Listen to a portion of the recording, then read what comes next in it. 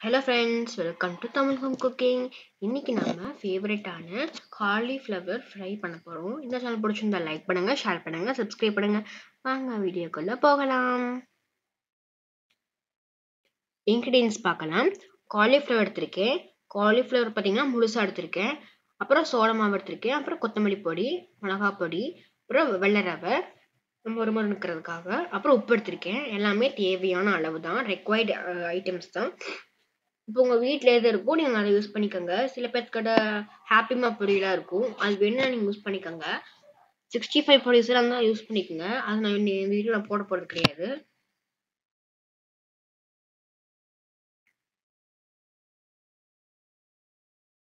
இப்போ நம்ம சுடுதண்ணி ஊற்றிக்கலாம் ஏன் சுடுதண்ணி ஊற்றுறோம்னு பார்த்தீங்கன்னாக்கா காலிஃப்ளவரில் நிறைய பாக்டீரியாஸ் எல்லாம் இருக்கும். அதெல்லாம் போக வைக்கிறது தான் சுடுதண்ணி ஊற்றுறோம் ரொம்ப சூடாக ஊற்றிட்டீங்கன்னாக்கா காலிஃப்ளவர் வந்து கொழ கொலன்னு ஆயிரும். ஆமாம் அந்த மாதிரி ஆகக்கூடாது. நல்லா சுடுதண்ணி ஊற்றிட்டு நல்லா கலக்கிக்கங்க.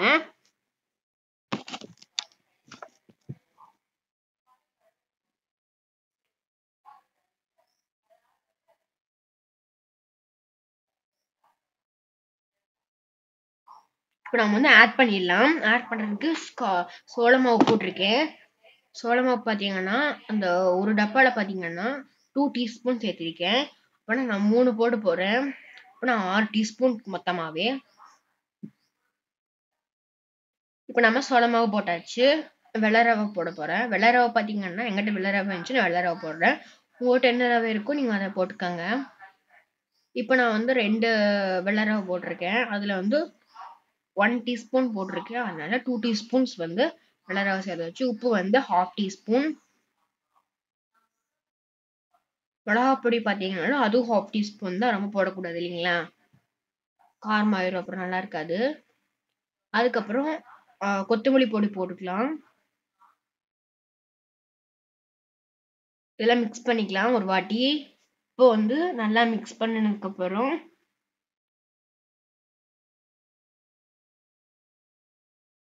தண்ணி ஊற்றி கலக்கிக்கலாம். ரொம்ப தண்ணி ஊற்றிடாதீங்க நல்லா கொல கொலன்னு ஆயிரும். தண்ணி ஆயிடுச்சுன்னா காலிஃப்ளவர் நல்லா கெட்டியாக இருக்காது. நல்லா ஒட்டாது மாவு. நல்லா கெட்டியாகவே கலக்கிக்கலாம். இந்த மாதிரி கெட்டியாக கலக்கினதுக்கப்புறம் உள்ளே வந்து காலிஃப்ளவர் போட்டுக்கலாம்.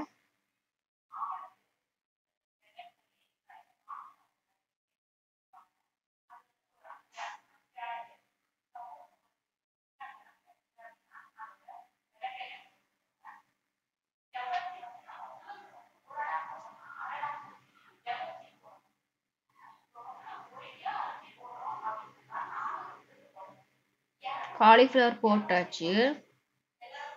நான் அப்போ சொன்ன மாதிரி தான் காலிஃப்ளவர் ரொம்ப சூடாக ஊற்றி போ தண்ணி ஊற்றிடாதீங்க நல்லா இருக்காது அப்புறம் காலிஃப்ளவர் கொல ஆயிரும். இப்போ நல்லா மிக்ஸ் பண்ணிக்கலாம். மாவெல்லாம் கீழே தான் இருக்கிறதுனால நல்லா கையை வந்து கீழே வச்சு நல்லா கலக்குங்க. நல்லா இப்போ மிக்ஸ் ஆகும். மாவு வந்து அந்த காலிஃப்ளவரில் ஒட்டுற மாதிரி நல்லா கலக்குங்க.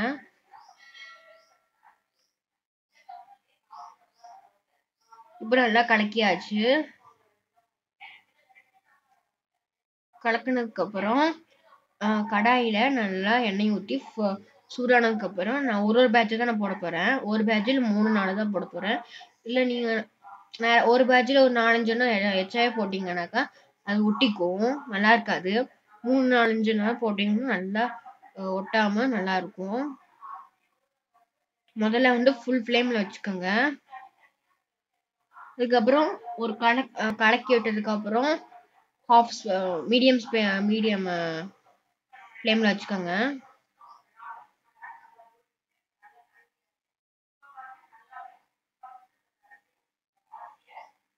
நல்லா மொறு மொறுன்னு இருக்கும்.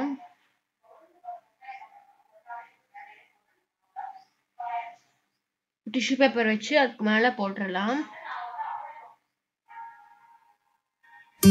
ஓகே தேங்க்ஸ் ஃபார் வாட்சிங் இந்த வீடியோ உங்களுக்கு பிடிச்சிருந்தா லைக் பண்ணுங்க ஷேர் பண்ணுங்க சப்ஸ்கிரைப் பண்ணுங்க. மறக்காம பெல் பட்டன் அமைக்கிடுங்க. அடுத்த வீடியோவில் பார்க்கலாம். பாய்